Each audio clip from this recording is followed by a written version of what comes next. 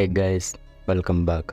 And today I'm going to show you how to fix common error Android utility tool no internet connection. Many of us have faced this issue and today I'm going to walk you through a solution that is easy and it's not going to give you headache. To get started, you firstly need to make sure you're connected to stable internet. As you can see, I'm connected to internet connection. Then you'll need to open a server, custom server. This happens when you use custom server. As you can see, I'm using TFT server and when I run test on Google Chrome, let me type WhatsApp. As you can see, the internet connection is bust. Some um, servers can configure the proxy settings which will be incorrect, some which are correct, or some may not function on your country. They may be functioning well on different countries, but maybe it's blocked from your country. You might need to use maybe a VPN.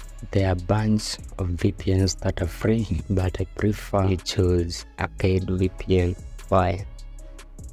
For more privacy. Okay. Free VPNs work best, but paid VPNs work seamlessly.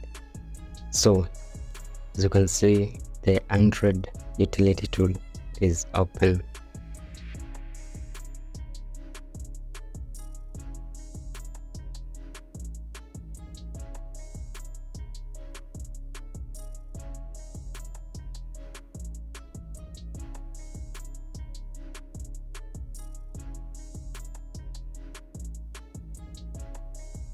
I'm going to factory reset Samsung Galaxy A03 core and I'm going to use the test point method. I'm going to wipe all data that is on this phone using this tool.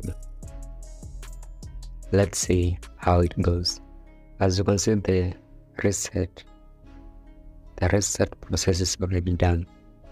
All you need to do is reboot the device and set up the setup wizard. That's all. Thanks for watching. I'll see you on the next one. Don't forget to like, share, and subscribe.